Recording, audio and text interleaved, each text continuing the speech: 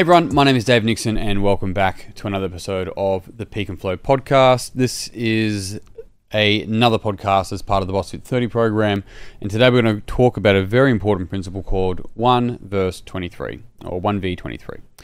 Now, it's a very simple process and a very simple principle that speaks to this idea that you're one hour in the gym, and you're welcome to swap the word gym for whatever it may be for you, but your one hour in the gym should positively impact your 23 hours outside of that facility.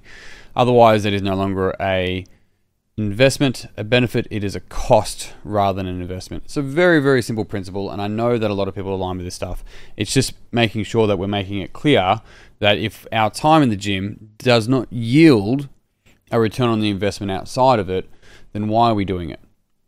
That means if I'm not personally becoming a better father, better husband, better leader, uh, a calmer person, am I sleeping better?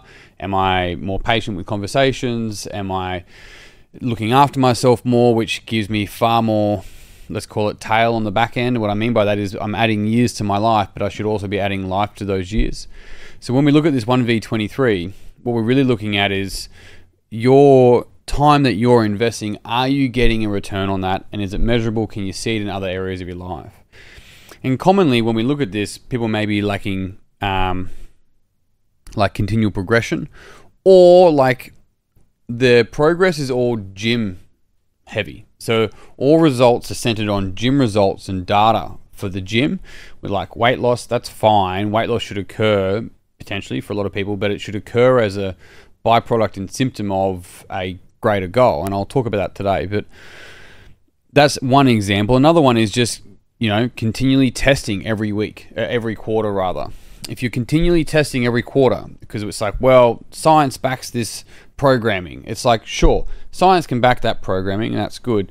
But at some point, you're going to hit your heaviest lift, and that's it. You're going to hit one day. It could be in your 20s, your 30s, your 40s, your 50s. Doesn't really matter you're going to hit your heaviest barbell, right? And you've got so much other shit going on in your life, in what we refer to as life conditions, that sometimes you miss a couple of weeks and then you come in on a testing week and it's like, I just don't feel like doing this. But if the culture of that place is like, hey, we should be getting results, get underneath the barbell and so forth, the reality is you do not touch barbells when you leave the facility.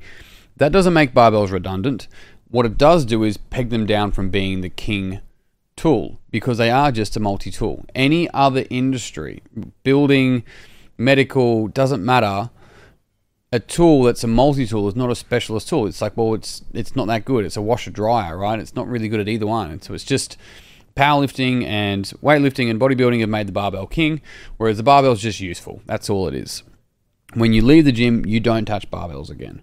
So if you're time if it's sort of gym greedy centered around just data. Just data is important. Don't say i'm not saying that. I'm saying if it's just the data then we're kind of missing the subjective data associated with that. And so sometimes we go if i'm getting stronger on the barbell that means i'm going to have a greater life. Maybe maybe that's true. There's an overlap for sure. The key thing there though is that and it'll talk to these principles the difference between a gym centric approach versus a life centric approach. And so the difference between a gym centric approach is and a life centric approach is I'm going to the gym to get stronger for the gym, as opposed to these are the things that I want to do in life, and the gym should be able to partner and help me be able to do those things better. So my life becomes centric, and the gym becomes auxiliary as a way for to help me do those things in life sometimes people get caught up in the gym centric approach, which is fine. That is that if that is your thing, if that's a big part of your life, the gym is just like a sport would be, or hiking for someone else, that's fine. But a lot of people want a life centric concept, but they're taking a gym centric approach, which means that they they they're kind of pushing themselves in the gym. They're trying to get results in the gym, hoping that it's going to mean that they can spend more time with their kids or do all these other things better.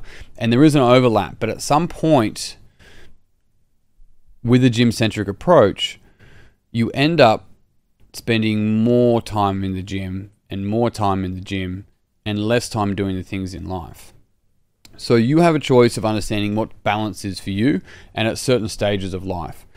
So it's a really I find it a really murky concept, I have to admit, but it's something that I really fundamentally believe is important because a lot of the fitness industry will want to use your results to be able to market to get more people in. And The difficulty then is that it can drive you further and further away from what's ultimately important to you. And it also is trying to promise a subjective result with objective data. And both are important, but when it, it kind of comes up short because it's more so like, and this is what I want for my gym and any other gym that I work with. What is it you want to do with your life, and how can we work with you and support you and partner with you so that you can do more of that? That's it, right? And for some people, it means that they don't actually try and chase 1RMs every 13, 12 weeks, right? That's just it's not actually that beneficial for them. It doesn't mean that they there's not benefit to getting underneath a heavy barbell or a heavy sandbag or pushing themselves on a rower or all that sort of stuff or that we shouldn't program cycles because we should. It's not saying that. It's going are we shifting more towards gym centric and data heavy approach for that person? Or are we shifting more to life centric and including the data in it and making sure that we're partnering with them? Because some people, you only need to be in the gym twice a week if that's what you wanted to do. Because maybe four times a week is going to take you away from doing the things you ultimately want to do outside of here. Look, I had a story one time. This dad came in and he hadn't been training. He's got young kids and he's like, hey, I. Uh, sort of need to start looking after myself. I'm super motivated. Got a couple of young kids, and I want to play with them and, and kind of be the fun dad and play with them as, as they grow up and grow older. It's like, cool. How old are the kids? They're nine and seven. All right, they're getting around, and I'm like, great.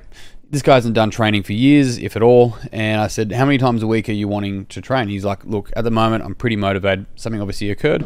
I'm pretty motivated, so I'm keen to get in as much as I can. So I'm thinking five times a week. I'm like, okay, five times a week, you work full time. He's like, yeah, full time, have my own business. So pretty full on with that as well. I'm like, okay, so you work full time, have your own business, and uh, you want to train five times a week. He's like, yep. And I'm like, so when are you playing with your kids?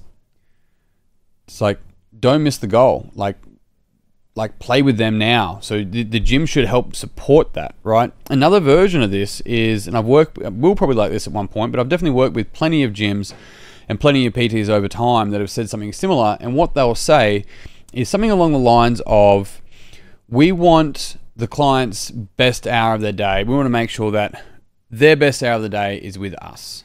We want to do what we can to make this their best hour. And I said, okay, so you want that person's best hour of the day to be about your gym and not about their life and their family and their life outside of the gym.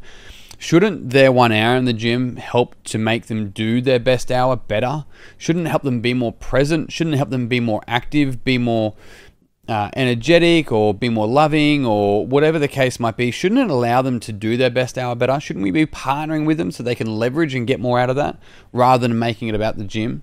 Doesn't mean that it can't be the gym. I've worked, I've built this place that I own for 13 years. I've worked in it for 20. I'm for sure, but I much prefer to hear the stories about families skiing together because they could do that because I don't have knee pain anymore.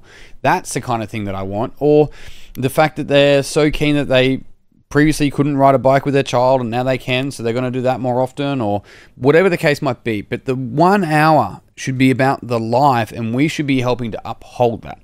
That is one of the key differences between a life centric and a gym centric approach. Then there's another concept here, which is people centric versus program centric. And commonly, there's a program centric approach. This is the program, and you need to follow the program. This is RX, this is a prescribed concept, uh, weights, movements, etc. And everything else is scaled, which is presupposing everyone should be doing, like in CrossFit world, handstands, snatches, dumbbell overhead lunges, like all of these things. Now, majority of people have the capabilities to do that, whether that's over time or not.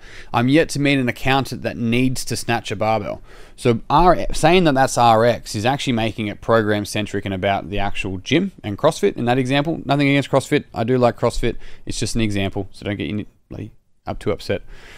The other way around that is going, here are the base fundamental functional movement patterns that if majority of people mastered, they would have a greater yield and greater return uh, in their life outside of the gym. That is a base fundamental functional approach, and we have pathways to development from there as necessary for the individual. This is an inverse, right? We want we want to go. Here's a program. Here's a guideline. We need to adapt it for you to make it people centric, person centric, you centric, and you have a role to play in that. So you need to be able to go well a why am i adapting but also b like we have 150 clients i can't program for 150 clients what I can do is program some GPP, general physical preparedness, and then I can program three variations, so three variations of the guideline of that. And then I work with my coaches to make sure they have the skill sets to be able to adapt it per person based on a variety of different factors. And so this now becomes people centric rather than program centric. And that's really important because what we're looking at is different um, movement patterns rather than specific exercises. And where we get caught up is when we go, it's a program, these are the exercises, what you're looking to do. It's like, no, no, no. Over the space of learning and deepening a better body body awareness, these are different movement patterns we want to master over time. And here's the variations we should look at to help that person meet it where they're at and know how to progress moving forward. Simple. Of course, it's simple. And so there's two key things here that I would lean on. One is someone's flexibility, not just flexibility as in the joints, their actual flexibility of how they approach things. So we have someone that's going all or nothing, it's going to lead to a lot of nothing. Black and white is ends up being a lot of nothing. So the person's flexible approach, moving from go hard or go home, because it ends up being a lot of home, to a model I call RPI, so rate of preemptive intensity. What that means is as you come in, you don't need to feel 100%. You don't even need to feel like you want to do it. That, that's okay, it's normal. You can come in, start warming up, and you use your warm up as a check in for yourself. How am I feeling? Where am I at? How's my body feeling? Has my head in the game? And you use that warm up as a buffer. The day's done for now. Here I am. I am here. And what that allows you to do is to check in and go, out of 100, what kind of percentage do I have? And you might start warming up, you might start moving and be like, nah, I'm cooked. I'm going to go home. Great call. Great. Because you came in, you warmed up, and then made the decision. You must have been cooked. Go home, rest, recover, come back tomorrow. Whereas there's been plenty of times, this has saved countless sessions for me, warm up, and I'm like, fuck, it's not that bad. Once the blood's pumping, talking to people, getting a bit social, I can actually go through and do this and train. But I'm probably only going to approach it at 75% today because that's what I've got based on my life conditions, my mental bank account, my emotional bank account, my physical bank account. I'm going to take about a 75% approach to it. I'm going to actually work on some skill acquisition with the movement, pay attention to feel, feeling my hamstrings more in my squats, and paying attention to my nasal breathing with my workout as well, and let that let my pace be dictated off that. That is a way that I have a rate of preemptive intensity that gives me flexibility with my approach, and that allows me to be consistent with training. So, over the space of 52 weeks, I train far more often and I get far further ahead, and my compound interest on my intergenerational health increases significantly over time. That's how that works, and that's the benefit of it. And I don't think I've ever explained that as well as I did just then. So you're welcome. But how does this fit within the ecosystem? So my life conditions, how does it fit with everything? How does this impact? How does the decision to move and train and how I train, how does that impact all the other areas? And how does it fit with all the other areas of my life? How does my workout, how does my work in, how does that all fit in? How does breathing, how does moving, how does resting, how does recovering, saunas, ice baths, whatever, running, doesn't matter, jiu-jitsu, keep going how does that actually fit into the ecosystem of my life? Rather than it being central and centric, how is it playing a role of being a important cog as part of the ecosystem of everything I'm doing? So how does it fit in? How does it benefit and help everything else? So flexible and understanding, zooming out, looking at it as an ecosystem thing at this stage of my life, how does it fit? So really what we're getting at here is helping an individual get a go from lack of progression and a, probably like a, a gym greedy approach um, and it's fine if people enjoy spending time in the gym and that's their, you know, social sport. That's great. That's that's clearly I, I play social sport like it's just a different format. So it's fine. It's more so going checking in with yourself and going, is my one hour in the gym helping to positively impact the 23 hours outside of this facility? Am I getting a return on my investment? If not, something needs to change and you need to change it. So is there a clear ROI on my time and effort in the gym? Does my time in the gym, does that have a purpose is, is this purposeful, right? Because there's a clear difference between social and casual, and you need to make the distinction there of what's really important for you. And the last version of the two different approaches I want to offer you is is am I approaching this as a holistic approach, looking at my whole life, like holistic is spelled with a W in this case, a holistic approach, or am I thinking of it as little compartments?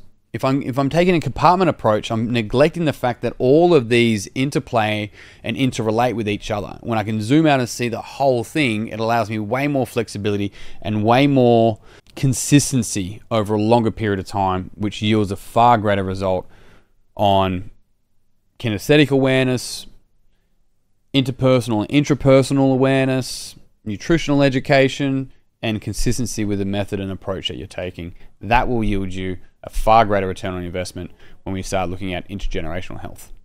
And on that note, team, I'm done. Thank you very much for tuning in. If you enjoy this podcast, it would mean the world to me if you'd pass it on to someone else that you think would also enjoy this podcast.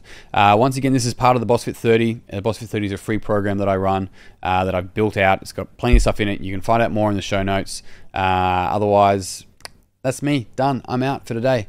Until next time, peace and pizza. I'll see you soon.